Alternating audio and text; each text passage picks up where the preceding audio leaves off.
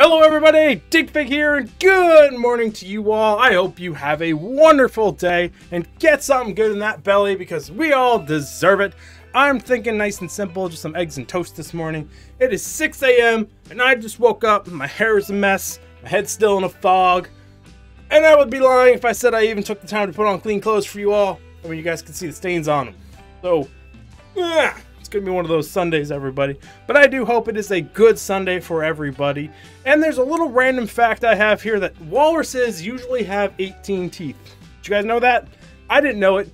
Now I do, and I'm probably gonna forget tomorrow. But today I will remember that they have 18 teeth.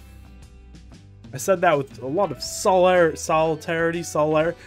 We're gonna forget that sentence. Never said it. So, what is the national day today? It is National Public Sleeping Day. So, if you want to go sleep on a park bench, still want to recommend it, but you could probably try. I tend to put those little things across them now to make them uncomfortable. Plus, it's really cold up here, so I wouldn't go do that, and they're probably all covered in snow.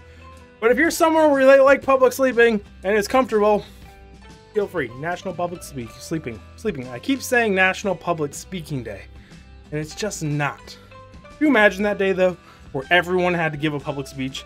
That would be so many speeches and it would be ridiculous. But whatever, we're gonna move on here. Okay, everyone? I do have a joke for you today, and that joke is what do you call a train carrying bubblegum? Nothing? Come on, someone's gotta have a guess for this one. This one actually made me laugh a little because of how bad it is. It's called the choo choo train! Get it? Because I got you're chewing things? I digress.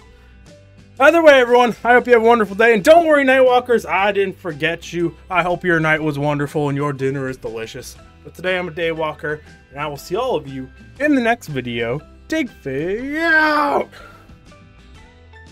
Oh, I'm out of breath. Way too early. And I'm fat.